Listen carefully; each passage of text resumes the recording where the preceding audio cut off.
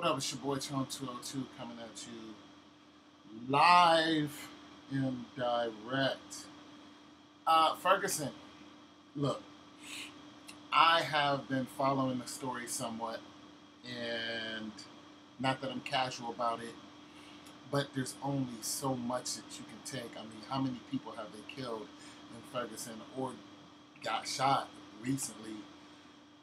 Uh, just in Ferguson, and then you're looking at all over the United States. Within the last month, there's been like what about eight, nine black men, black men dead within the last month, just all over the United States, and, and probably more because of prison systems.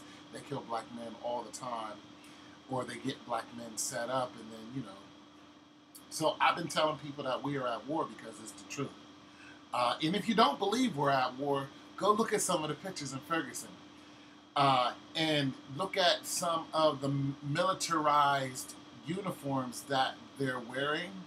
Uh, look at the tanks that they, small town Missouri, has just brought in a bunch of tanks by um, by uh, train, and they also had some Red Cross uh, tanks there too, medic units. When I say we're at war, I'm not playing. And just because it's not a full scale war does not mean that we're not at war. We are at war. There is a war on black men. And the police, see, see, a lot of people have been talking about how the police in Ferguson aren't from there. And remember when it used to be the police officers would be from your hometown. It'd be somebody you knew, grew up with, so it wasn't a problem. They understood you. They know that you're not in Walmart with an MK whatever BB gun that was, they they would know you. You'd be like, oh, that's just so and so. That's a BB gun. It's in Walmart. It's sold at Walmart. We're not going to shoot and kill this guy. Whoever the those people are who called in the police, they said there's a black man and it was an irresponsible couple, is what the report says. Uh, I don't know if it was a white couple or a black couple, but it's a good chance it was a white couple. And they said that there's a black man running around here with a gun and they were not lying. That's true. But what they didn't know is that the gun was a BB gun. And if Walmart isn't alarmed, then why would you call in the city cops? Okay, so all this stuff in Ferguson's going on. You're like, here we are in Ohio. Yo, black man running around with a gun. Nobody else is alarmed but you. No one. So the cops come in, they shoot the guy, and he falls. Then they tell him to get down on the ground. They shoot him. He's on the phone talking to his woman when he gets shot. Okay, here's how it goes. Cops rush in. He has the gun, but he doesn't even have it like this. You know how he has it? It's on his back. He has it holstered like this. Cops, cops come in, blah blah blah. Shoot the kid. Guy's like 22, father of two. Shoots him, and when he falls down, then they tell him to get down on the ground. He's dying, crying, and, and, and takes out his phone and is talking to his woman. This is the way I read the story. Uh, so I could be wrong on some of that, semantics, yada, yada, yada. But his girlfriend is stating all the things that he said right before she heard him die. Imagine his girlfriend or his wife. Just imagine that. Drink that in. You just got shot. You're not even sure why you got shot. You're dying, and your woman of your two children is listening to you die. Yo, I'm telling you, the stuff that the cops are doing is just so out of line. They're inciting such rage that it isn't even funny. And in Ferguson, like these, and then these news reporters are so fake. Like in Ferguson, they're talking about how the people are inciting the riots, but the cops are telling the people uh, that they're going to kill them. Listen, there are protests all the time, all over the world. And there are ways to protest and there are ways to quell protest. The way these cops are doing it, they're making it seem like they're not vulnerable. They're making it seem like they're gonna live forever. They're God. Like Ferguson is, has so much unrest. You got a cop just waving around an M16. Uh, you know what I'm saying? Just like I'm gonna kill you. Like, do you think you're gonna live forever? Do you think that retribution is not gonna come back to you? Who you think? Like y'all think y'all androids? Like do you you think one day it ain't gonna catch up to you? Is that what you believe? you better get out of here with that. You're going to get yours just like everybody else going to get theirs. You better slow down and think about that. I mean, truthfully, being a cop is not easy. But the real problem is, like a lot of people mentioned, those cops aren't from Ferguson. And I'm going to tell you something. A bigger problem is those cops are state cops. They're funded by the state. That's it. Everybody knows that. But listen to this. We are all, we are all bound by the state. When they come and snatch your car off the curb, state. When they come and give you a ticket, that's why they've been handing out so many tickets. State, all state funding. But we all know that that state funding isn't going back into the state. It's going into somebody else's pockets. And a lot of times, it's the police. Let's let's think about this. There's a stretch of highway in Texas where they are known for stopping people and pulling them over, taking their money and trying to say that they're putting it in the system, but that's not what they're doing. They're pocketing it. Especially if you have over a certain amount, it's going to take you so long just to get that money back. Case in point, they had a guy who owned his own business, black guy. They stopped him. He had over ten thousand dollars on him. I think he was a um, he sold cars or something like that. But his father also was in business with him. They took his money. By the time he was able to get his money, they had already been able to keep $5,000 of that money. You can see a video where the cops are trying to convince uh, uh, these two Latino guys to hand over their money. They're like, we know you have money in there. They're trying to, he's like, I'll let you go. Just give us the money. It's all robbery. That's not police work. Those guys aren't committing a crime. You're robbing them. There was a case in Florida about four or five years ago where a black guy got um, where he was uh, uh, he was shot. They shot, they killed him. He had nine hundred dollars on him. They took his money, and what they and what the people who knew him, they said they also robbed him. The lady said right there on camera, she said they killed him and then they robbed him. See, that's what they're doing. They're either doing it literally, they're doing it one way or another. They're robbing you to get more state funding, so called, but really what it is, it's police funding. Those cops aren't from Ferguson. And those cops aren't cops. A lot of the cops that you're seeing, those cops aren't from your hometown. They're not cops, they're soldiers. That's why they're dressed like that. It's called being a police state. And that's where you're at. Believe it.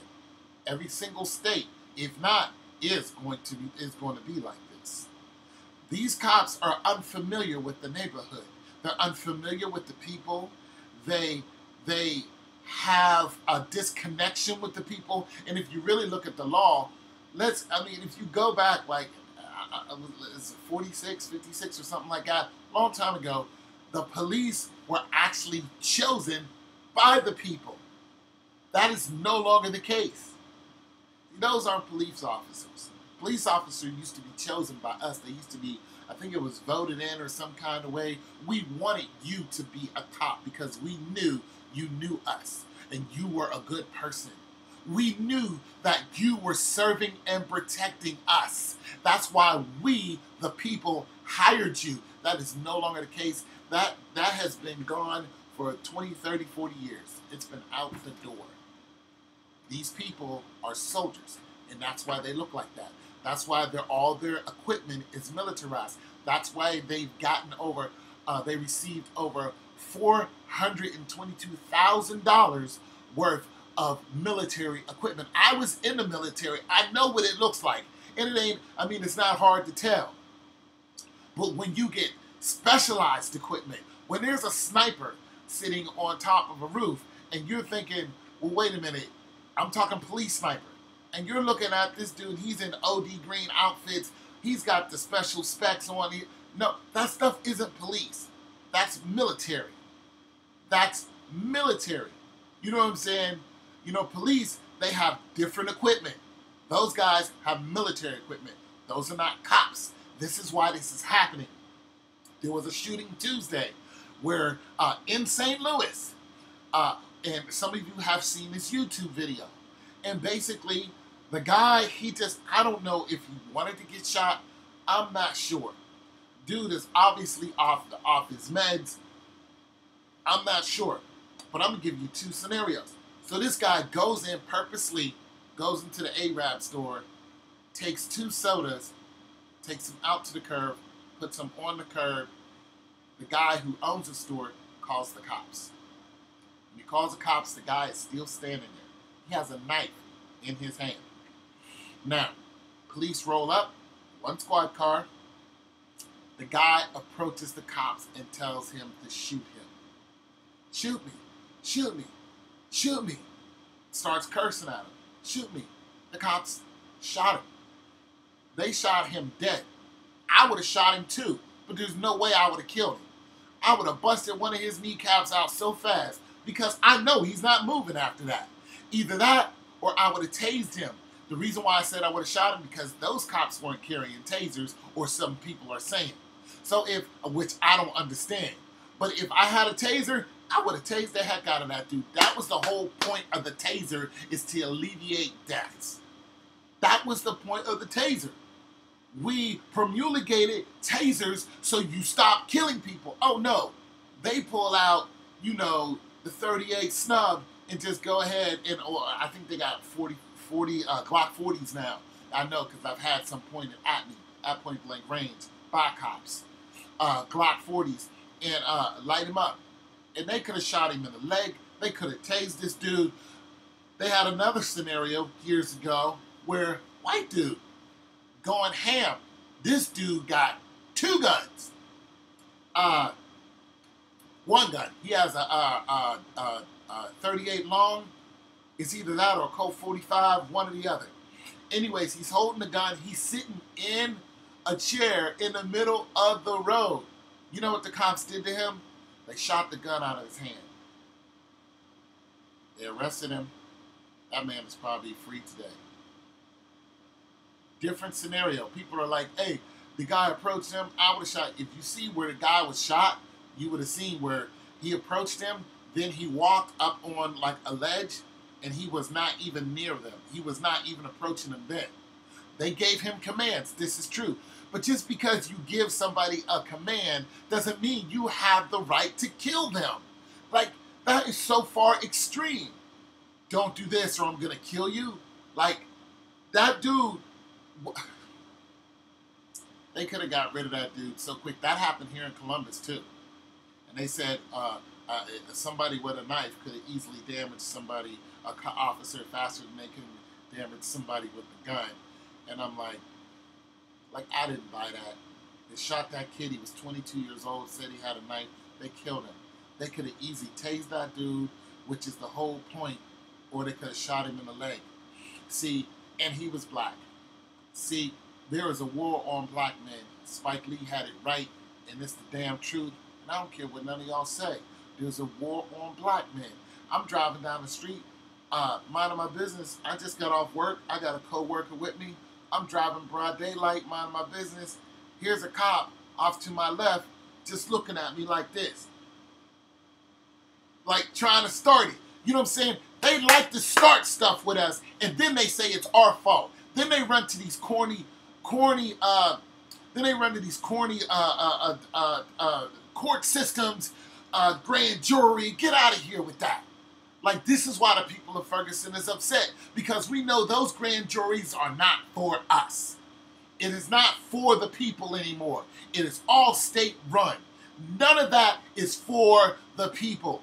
None of that is by the people. Zimmerman should be in jail for life. None of that, what they are doing, are for or by the people. It is all for the state, and they're pocketing all that money. They're making all that money off of us. We are hostages. That's what it really is. And if you don't believe me, you better look at Eric Garner and how they how they how they killed him. Watch and see if they get off on that. They're not going to put that police officer in jail. Look at Scott, how they killed him, shot him in the back. Boom, one time. You think that officer did a lot of time in jail? No, they gave him a, a year or the option to buy out of $50,000 or something like that. I'm telling you, this is a police state. You are under arrest whenever they feel like it, and they will kill you if they want to.